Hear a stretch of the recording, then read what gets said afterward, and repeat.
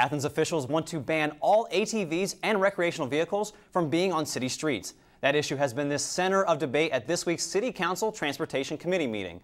Some council members are concerned about accidents, drunk driving, and distracted driving, while others don't think it's such a bad idea.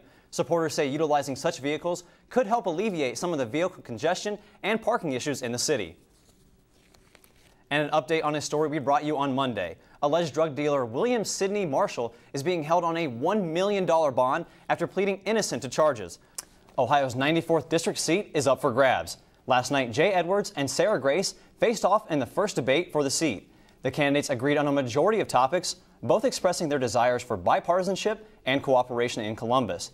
The Town Hall Debate Forum was held at Ohio University's Walter Hall. The seat is currently held by Debbie Phillips. Alleged serial killer Shawn Grate says he can't remember the name of his first victim.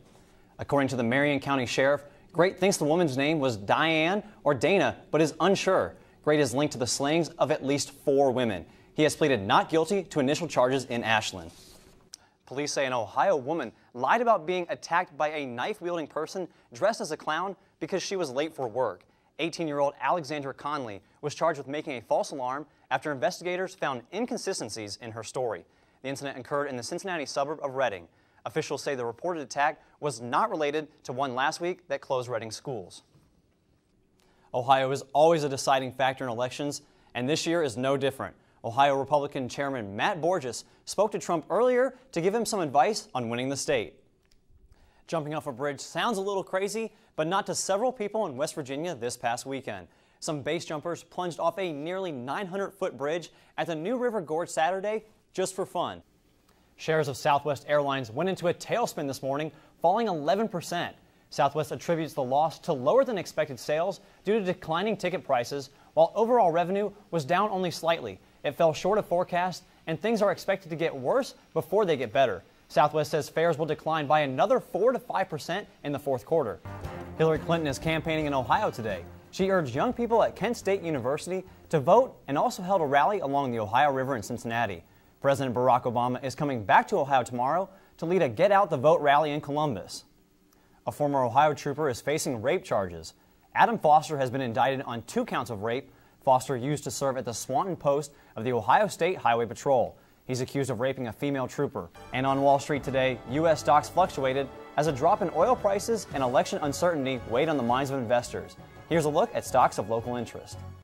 Hocking College received one of nine grants given out to Ohio colleges in an effort to change campus climate when it comes to sexual assault.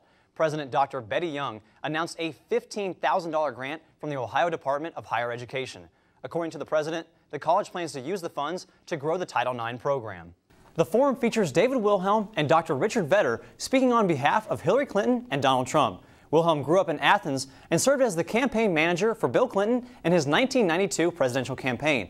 And tonight, he will speak for Hillary Clinton. His counterpart, Vedder, is a distinguished professor emeritus of economics at OU a former Ohio trooper is being charged in Washington County with finding or keeping personal information obtained from a law enforcement database without authorization. William Elschlager had information on about 10 women and was already accused of stalking a subordinate's wife.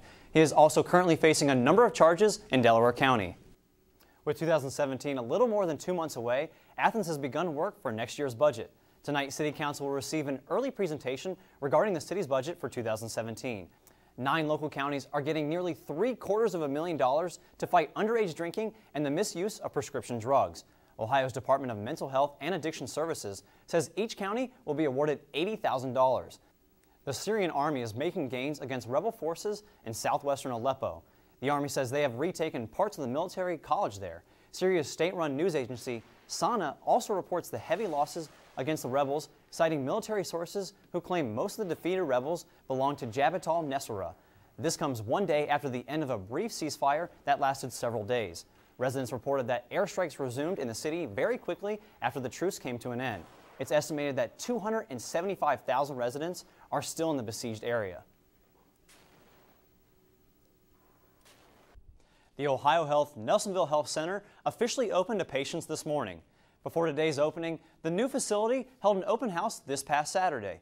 The open house featured self-guided tours, cooking demonstrations, and activities for kids.